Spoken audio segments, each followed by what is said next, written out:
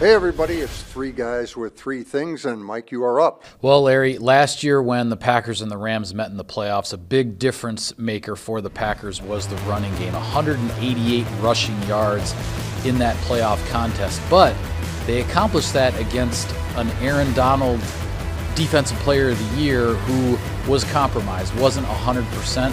And the Rams also didn't have Von Miller on the edge, who they have now. So this is going to be a different type of matchup this Packers offensive line, which is also dealing with a change with Yosh Nijman now left tackle against this Rams defensive front, is really the matchup of the ball game.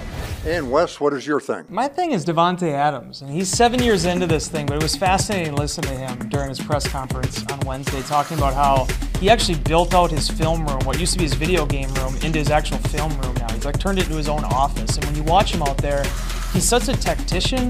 The way he runs routes, everything he does at the receiver position but he's still looking for ways to get better. And when you look at a guy now that in this part of his career is still ascending, that's the stuff you point towards and it really sets the example for this room. Guys, I want to talk about Yosh Nijman. Elgton Jenkins gets hurt.